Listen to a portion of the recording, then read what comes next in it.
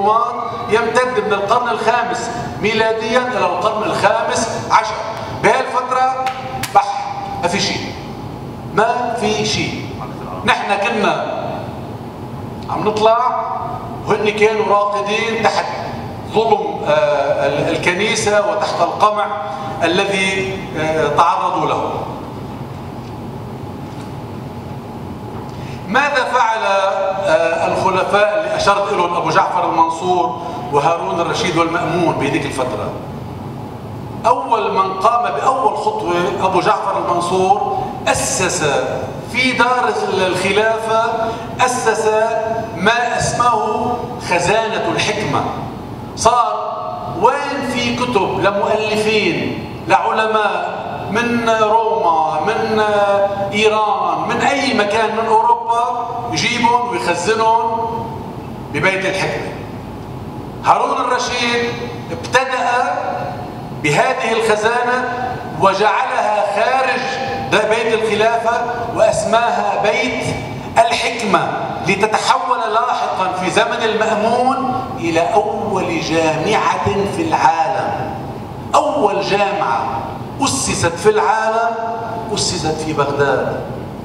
سنة 1820 24 شيء شو ذلك أول جامعة أسست في أوروبا في صقلية في مدينة ساليرنو سنة حوالي 900 أو 1000 يعني بعد منها 100 أو 200 سنة.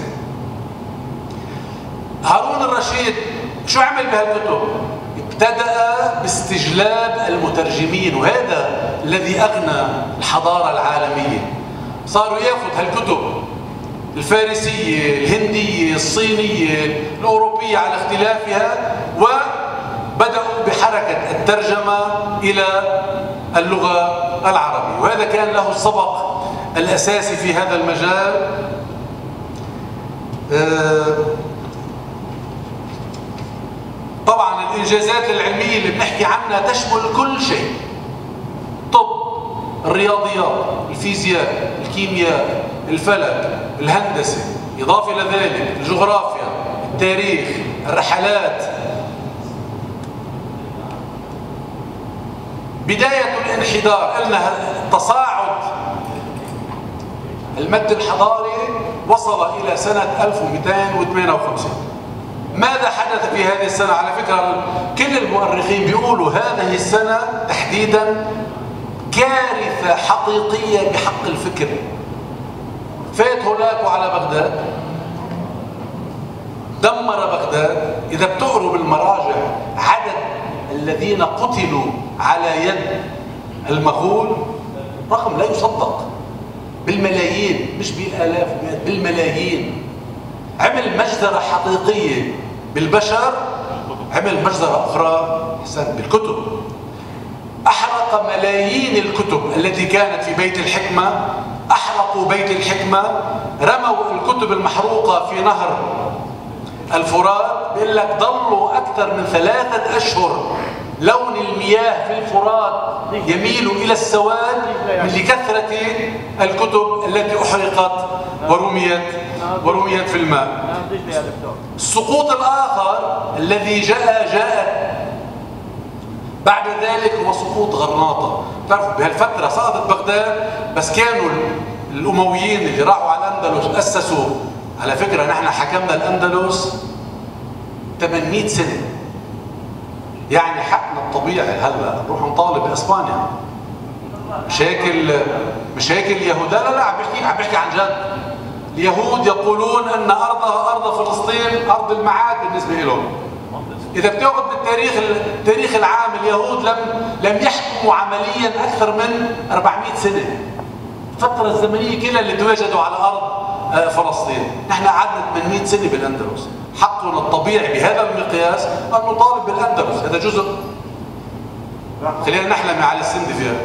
لا حقوق للمحتل مين ما كان يكون؟ عربي ولا صح صح صح. اي بس شيء بشيء يذكر يا أبو عباس. طيب. هلا نحن قلنا إن تاكيدا اللي أنا بلشت فيه حديثي إنه آه كنا الأول في الحضارة في كل شيء. اعطيكم بعض النماذج البسيطة. مجال الطب سمي قد ما بدك. ابن سينا وابن رشد وابن النفيس والزهراوي وابن زهر وغيره وغيره. بالرياضيات ذكرنا الخوارزمي. بالكيمياء أبو الكيمياء أول من استخدم أو أقام تجربة كيميائية في التاريخ جابر ابن حيان. جابر ابن حيان. آه، بالفيزياء بالجغرافيا. آه، نحن بنسمع بماركو بولو. ماركو بولو عمل آه، رحلات امتدت على مدى 15000 مايل. ابن بطوطة اللي عاش بفترة مشابهة ومماثلة سافر 75000 مايل. نحن نعلم ماركو بولو. طبعا. ابن ماجد سامعين في ابن ماجد؟ ابن ماجد هو الذي قاد فاسكو دي جاما ودله على الطريق وقت اللي اكتشفوا الطريق حول أفريقيا ورأس الرجاء الصالح.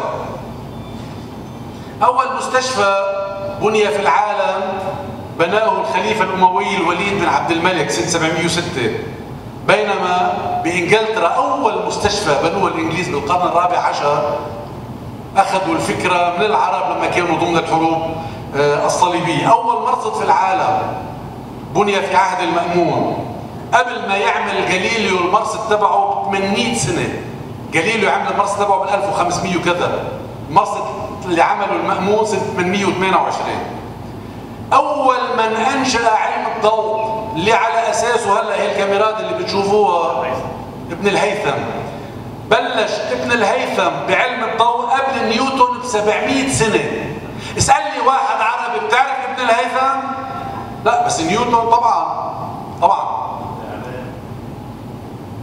إلا جابر بن حيان أول من استعمل الكيمياء قبل أينشتاين وألفريد نوبل وماري كوري بمئات السنين. علم الجبر الخوارزمي أول من أسس علم الاجتماع ابن خلدون.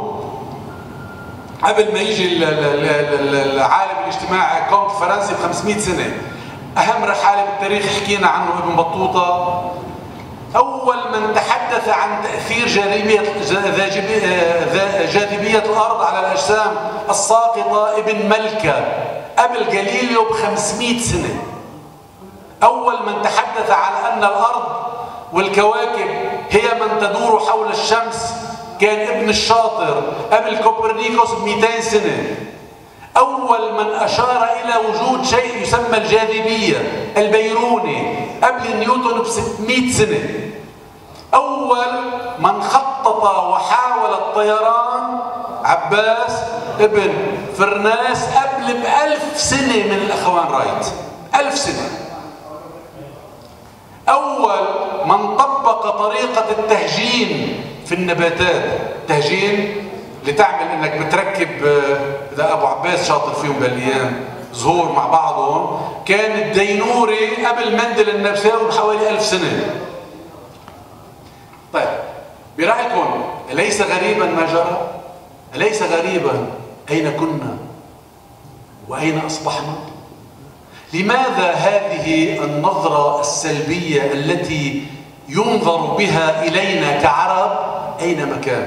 إذا بتشوفوا بتتابعوا بأفلام هوليوود بالصحافة بوسائل الإعلام بالمقالات العرب دائما صفتهم العامة إرهابيون آه، متخلفون. دائما بأفلام هوليوود بيجيبوا لك إياه لابس حطة وعقال. بحب كثير الأكل بحب كثير النسوان وهذا طب هل نحن كذلك؟ طبعا لا. لا أريد دائما تحميل الغرب المسؤولية. لا يا أخوان. نحن. يعني العلماء بحد ذاتهم كانوا مضطهدين بزمانهم. من من هو من من أوصلنا إلى هذا الحال هو نحن. يا عم تاريخ العرب للأسف. أنا بستغرب. رغم يعني مثلا المأمون والامين ذبحوا بعضهم. ورغم ذلك كيف طلعت معهم هذه فتره النهضة؟ أمر كان مستغربا. حياتنا بالكامل على امتداد التاريخ العربي والإسلامي تاريخ حروب تاريخ دماء تاريخ خيانات. شوفوا حاليا ماذا يجري. طلعوا حواليكم. شو عم يصير بعالمنا العربي؟ طلعوا حواليكم. ما بدي فوت بالسياسة بس عن جي عن جد أمر مخزي. إذا قرأنا هذا الماضي نعرف لماذا يجري آه، تجري هذه الأمور الآن. لا أريد الإطالة لأنني أعتقد, أعتقد أنني تجاوزت الحد. هناك الكثير مما يقال في هذا الموضوع. أشكر لكم حضوركم والسلام عليكم ورحمة الله.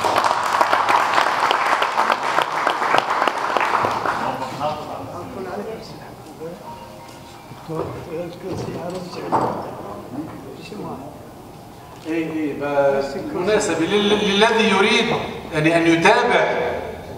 إذا أثرت لديكم ال- الرغبة والفضول في متابعة آه، آه، ما ما نبحث عنه ما ما نتلمسه اذهبوا إلى آه، صفحة على الفيسبوك بعنوان صناع الحضارة أو civilization builders. هذه الصفحة أنا عاملها وكل يوم أو يوم أو يومين بننزل عن شخصية من هذه الشخصيات اللي ذكرناها من ابن سينا وابن رشد والغزالي والرازي وابن ملكة وابن الشاطر وابن وابن واللائحة لا تنتهي. سلام.